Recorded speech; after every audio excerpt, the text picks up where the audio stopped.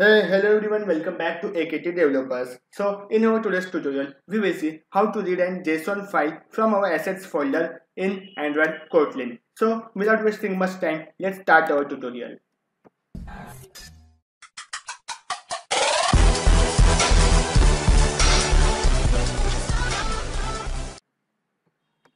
So head back to Android Studio. As you can see, here, here we need to create first of all assets folder to store our JSON file. So click on the main folder, new, and then we need to create here a package, right? We need to create a directory, right? So we will name it as assets. And then as you can see, assets directory has been created. So right click on assets, new, and then we will create a simple file here which we will name as first.json because we need to create a json file. So we had given here extension json. So now we need to do scripting for our json file right? So here i am having some uh, code for our json file. Just i am copying it and paste it here so as you can see this is our json file. Here i am having some data uh, first is name which is type of country. Nilesh which is a person. Akt dev developers which is type of youtube channel. Google which is type of search engine. So this type of file i had created. You can input data as per your wish. Right. So now let's go to xml file. Now here in xml file i had given the uh, text view i had given it id as json underscore text right now we must do our main uh, programming. Go to main uh, file and here we will call a method which is called uh, which is I had given it name as read json. Let's create a function read json. Now we need to read this JSON file, right? So to save our time, I had uh, just coded here something to save to save our time, right? So I'm just copying it and pasting it here. I need to import this file huh. sorry I forgot to create a variable variable JSON which is type of string and I had assigned it value as null and we need to use your try and catch block so that uh, we need to add, add uh, handle the exceptions which may occur in future. Catch block. We will handle the exception of IO exception type. Right. So what I had did here? Uh, I had created a variable which is type of input stream and I had used the get assets method. Uh, just because it is Kotlin we can use the short form of that assets uh, which means we are uh, giving it permission to access my assets folder which is here and dot open method. Open method will will open our json file right? So our json file name is first.json right? It will open our json file this one and then we are using input stream. Input stream will be uh, input stream this is the object we had created above and then buffer reader will use to read our json file right? And it will point to that file itself and read text which is used to read the file now let's see if uh, program runs uh, fine or not. So json uh, underscore text which is object of our text view dot set text equals to json right? Now let's run the program. Now this data from json file should be assigned to our text view right? Because we had uh, opened that file and then we had also read that file and uh, we had assigned that value to our text view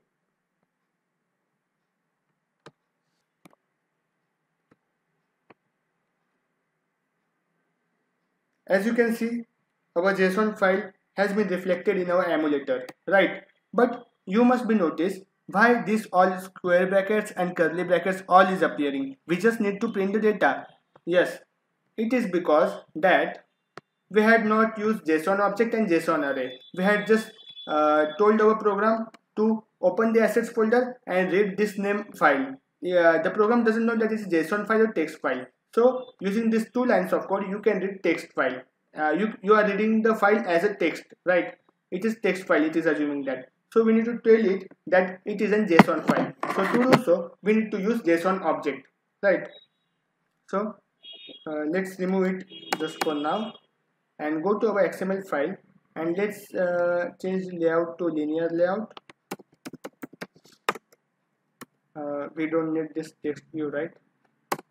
Uh, let's create here list view.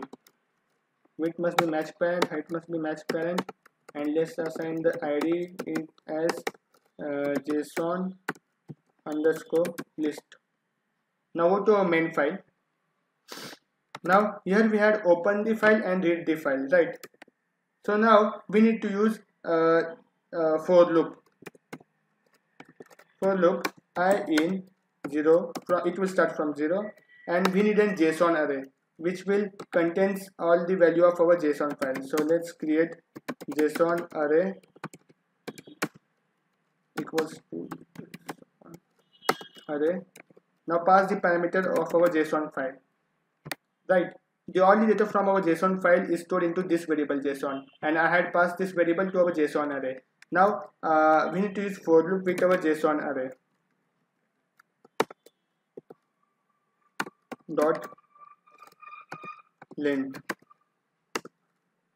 Right. The for loop will go till the length of our json array. Now we need to create a uh, variable for our json object to access uh, each uh, value of our json file get json object and as a parameter we will pass i which uh, contains the json array at per point now here we need an array to store all the values of our JSON, right? So let's here create an uh, array variable array uh, equals to which is type of array list of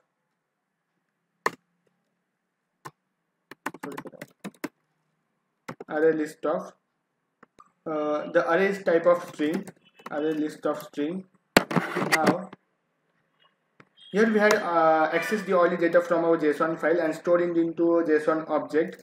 Now let's uh, assign the value. Let's uh, move the value from say JSON object to our array. So array dot add JSON object dot get string and here we need to pass which value we had to assign from our json file. So first of all we will print in a list view all the names of uh, from json file name value from json file. So here this name value is uh, acting as a key for this value right? So let's pass the name as a string right now uh, to display it into our list view we need to create a adapter array adapter to print it into a list view right? Array adapter just pass the context and then uh, android dot uh, dot dot simple list view item comma here we need to pass the array right? So json list dot adapter. Let's assign the adapter to our list view. Now our program is ready. Now let's run the program and see what output it gives. Now all the names from our json file will be displayed in our list view. Okay. So uh, just before that we need to pass in minus one because uh, array is of starts from zero right? So let's run the program and see if our data is reflecting or not as you can see in our list view, all the names has been displayed. India, Nilesh, AKT Developers and Google from our JSON file. Right, only names has been appeared. Now what we should do with our type? Now let's create one more JSON array and pass this type and let's perform some operation with that. So here we will create one more array, right? Just copy it and paste it here. Let's give it name as type. Now let's add that types of that names to our type array right?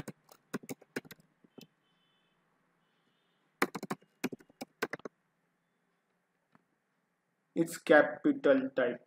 The capital T so change it to capital T. Now what we should do with array? Let's uh, create an set on click listener on our list. Dot on item selected listener. Here we need to use adapter view because uh, we are performing operation on list view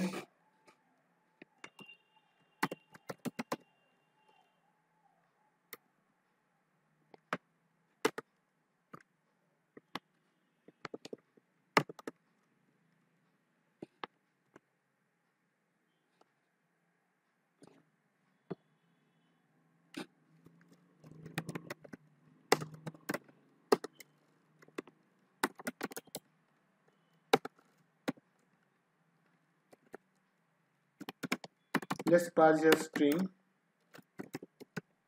Type selected is plus sign. And then we need to pass our type array. And we need to pass here position right? Uh, the position we will click it will pass the position that uh, position from our type array.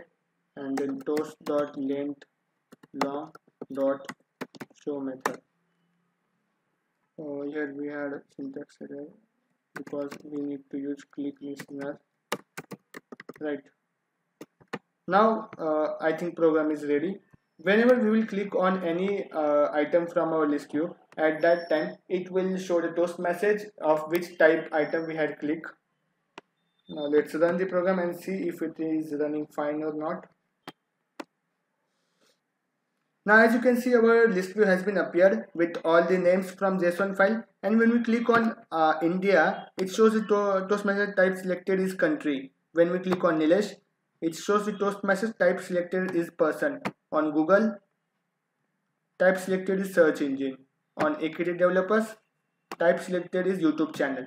So in this way you can read uh, your JSON file from assets and can perform multiple uh, various types of operations on that JSON file so uh, hope you will like this tutorial and thanks for